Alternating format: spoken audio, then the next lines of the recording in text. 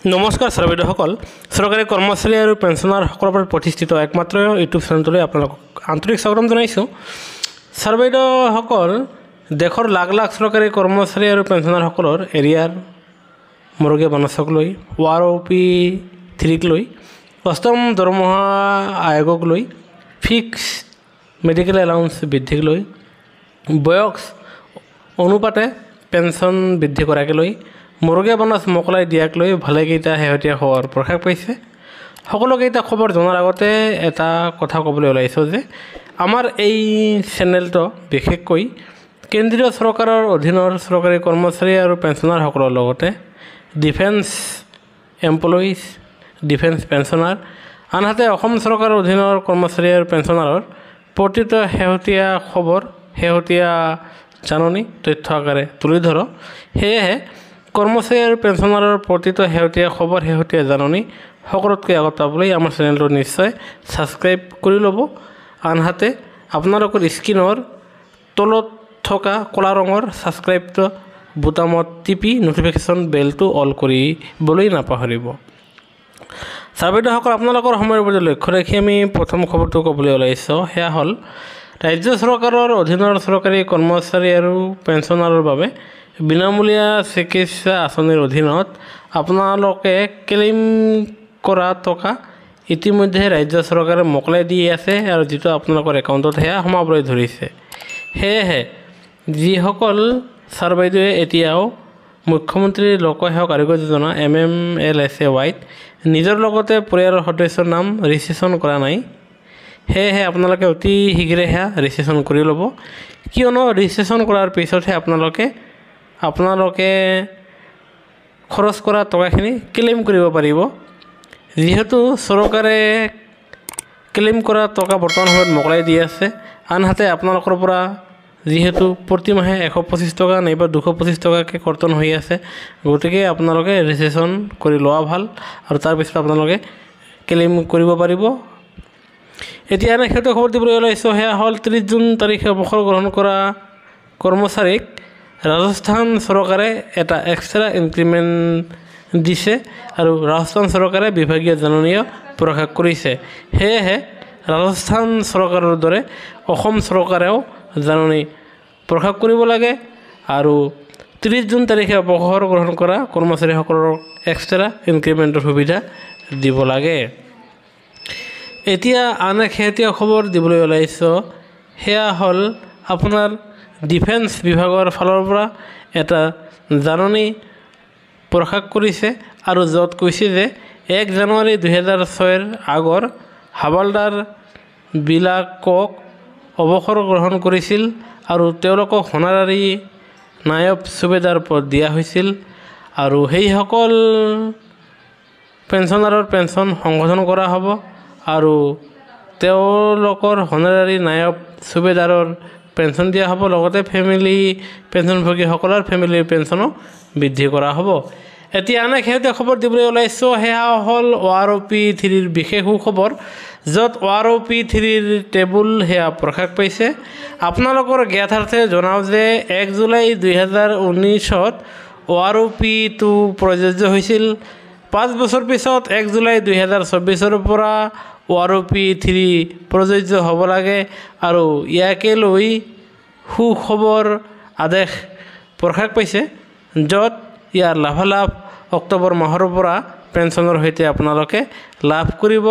লগতে তিপ্পান্ন শতাংশ মৰগীয়া বানচৰ সৈতে অ' পি থ্ৰী আপোনালোকে লাভ কৰিব। এতিয়া আন শেহতীয়া খবৰ লৈ আহিছোঁ। সেয়া হ'ল পেঞ্চনভোগীসকলৰ কাৰণে বিভাগীয় কৰ্তৃপক্ষই জাননী আকাৰে জনাইছে যে পেঞ্চনাৰসকলে যাতে কোনো ব্যক্তিৰ জালত নপৰে।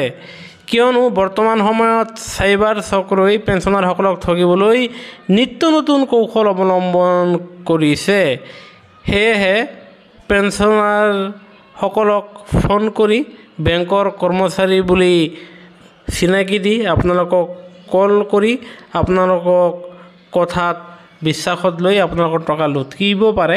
সেয়েহে অ' টি পি শ্বেয়াৰ কৰাটো দূৰৰ কথা লিংকিতটো আপোনালোকে ভুলতো ক্লিয়াৰ নকৰিব আনহাতে মৰি গ'লেও থাৰ্ড পাৰ্টি এপ আপোনালোকে ডাউনলোড নকৰিব আৰু আপোনালোকে কোনো ফোন আহিলে আপোনালোকে সেয়া বিশ্বাসত নল'ব।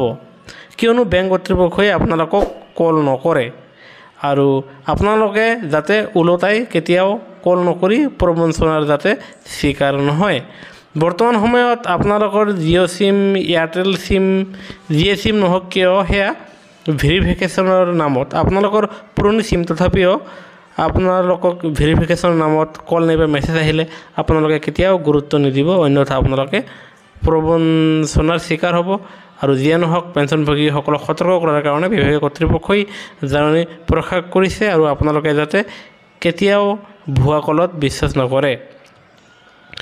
এতিয়া আন এক শেহতীয়া খবৰ দিবলৈ ওলাইছোঁ সেয়া হ'ল হিমাচল হাইকোৰ্টে গুৰুত্বপূৰ্ণ ৰায়দান দি কৈছে যে এতিয়াৰ পৰা পেঞ্চন আৰু এৰিয়াৰ প্ৰদান কৰাত পলম হ'লে পেঞ্চনাৰক ছয় শতাংশ সুদ সহকাৰে মোকলাই দিব লাগিব। হয় ছাৰবেদসকল আপোনালোকে ঠিকেই শুনিছে য'ত হিমাচল হাইকোৰ্টৰ গুৰুত্বপূৰ্ণ ৰায়দান য'ত আপোনালোকৰ পেঞ্চন আৰু এৰিয়াৰ দিয়াত যদি পলম হয় বিভাগীয় কৰ্তৃপক্ষই আপোনালোকক অতিৰিক্ত ছয় শতাংশ সুদ ধৰি আপোনালোকে সুদে মূলে সেয়া লাভ কৰিব। ইয়াৰ নিশ্চয় ভাল খবৰ। এতিয়া আন এক শেহতীয়া খবৰ দিবলৈ ওলাইছোঁ সেয়া হ'ল সত্তৰ বছৰ বা সত্তৰ বছৰৰ ঊৰ্ধৰ জ্যেষ্ঠ নাগৰিকৰ লগতে পেঞ্চনাৰসকলক আয়ুষ্মান যোজনাৰ অধীনত পাঁচ লাখ টকাৰ বিনামূলীয়া চিকিৎসাৰ লাভালাভ দিয়া হ'ব। লোকসভা নিৰ্বাচনৰ আগত আয়ুষ্মান যোজনাৰ অধীনত পাঁচ লাখ টকাৰ চিকিৎসাৰ লাভ দিম বুলি মোদী চৰকাৰে যি ঘোষণা কৰিছিল সেয়া বাস্তৱত ৰূপায়িত কৰিছে। আৰু এতিয়াৰ পৰা সত্তৰ বছৰ ঊৰ্ধৰ জ্যেষ্ঠ নাগৰিকৰ লগতে পেঞ্চনাৰসকলে তেওঁলোকে আয়ুষ্মান যোজনাৰ অধীনত পাঁচ লাখ টকাৰ তেওঁলোকে চিকিৎসাৰ খৰচ লাভ কৰিব। এতিয়া আমি আন এক শেহতীয়া খবৰ দিবলৈ ওলাইছোঁ সেয়া হ'ল মৰগীয়া বানচক লৈ হয় ছাৰ বাইদেউসকল বৰ্তমান সময়ত আপোনালোকৰ মৰগীয়া বানচ কনজুমাৰ প্ৰাইচ ইণ্ডেক্সৰ শেহতীয়া সূচকাংকৰ ভিত্তিত তিনি শতাংশ বৃদ্ধি হৈ সেয়া তিপ্পান্ন শতাংশ হৈছেগৈ। অহা পঁচিছ ছেপ্টেম্বৰ তাৰিখে কেন্দ্ৰীয় কেবিনেটৰ বৈঠক আছে য'ত দিয়ে বৃদ্ধিত মোহৰ মাৰিব। কেন্দ্ৰীয় চৰকাৰে দিয়ে বৃদ্ধি ঘোষণা কৰাৰ পিছতে আপোনাৰ অসমৰ মাননীয় মুখ্যমন্ত্ৰী মহোদয়ে দুৰ্গা পূজাৰ সময়ত নাইবা দেওৰীৰ আগে আগে দিয়ে বৃদ্ধিৰ কথা ঘোষণা কৰে। সেইবাবে অসমৰ কৰ্মচাৰী আৰু পেঞ্চনাৰসকলৰ অক্টোবৰ মাহত তেওঁলোকৰ দিয়ে বৃদ্ধি পোৱাৰ ফলত অক্টোবৰ মাহত তেওঁলোকৰ দৰমহা আৰু পেঞ্চন বৃদ্ধি পাব। আনহাতে আপোনালোকে তিনি মাহৰ জুলাই আগষ্ট আৰু ছেপ্টেম্বৰ তিনি মাহৰ এৰিয়াৰ লাভ কৰিবলৈ সক্ষম হ'ব। এতিয়া আন এক শেহতীয়া খবৰ দিবলৈ ওলাইছোঁ। সেয়া হ'ল যে আপোনালোকে জানেই যে কেন্দ্ৰীয় চৰকাৰে গ্ৰেচুইটিৰ লিমিট বিছ লাখ টকাৰ পৰা বঢ়াই সেয়া পঁচিছ লাখ টকা কৰিছে। আৰু অসমৰ কৰ্মচাৰী সংগঠনেও ৰাজ্য চৰকাৰক গ্ৰেচুইটিৰ লাভ বিছ লাখ টকাৰ পৰা বঢ়াই পঁচিছ লাখ টকা কৰিবলৈ অনুৰোধ জনাইছে। আৰু যিটো যাতে আপোনাৰ চৌবিছৰ এক জানুৱাৰীৰ পৰা কাৰ্যকৰী হয় বুলি অসম চৰকাৰক তেওঁলোকে দাবী উত্থাপন কৰিছে। আশা কৰা গৈছে যে অহা এক অক্টোবৰ তাৰিখে লখিমপুৰত হ'ব লগা কৰ্মচাৰী পৰিষদৰ বৈঠকত মুখ্যমন্ত্ৰী মহোদয়ে এক অক্টোবৰ তাৰিখে অংশগ্ৰহণ কৰিব। আনহাতে কৰ্মচাৰীসকলৰ কাৰণে কেইবাটাও সুখবৰ মুখ্যমন্ত্ৰীয়ে নিজ মুখেৰে ঘোষণা কৰিব।